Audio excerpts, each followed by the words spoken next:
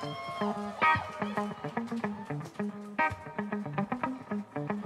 up, Tahoe? Leslie here with another episode of the Live at Lakeview Backstage Pass. It wouldn't be spring in Tahoe without a fresh coat of snow just before we kick off summer.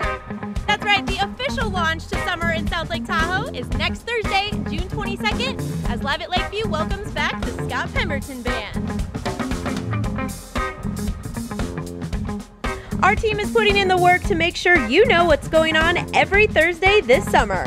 Help us spread the word and make sure none of your friends miss a beat.